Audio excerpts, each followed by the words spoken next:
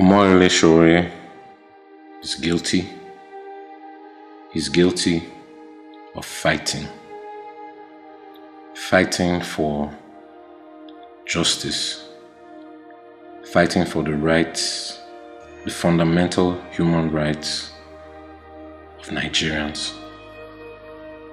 Omoyele Sowore is guilty of loving his country to the point that he has no regard for even his own life.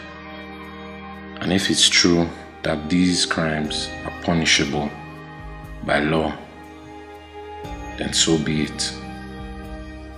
But if this is not the case, I believe the only reasonable thing to do now is free Sowore. Eh? Free Sowore. Eh?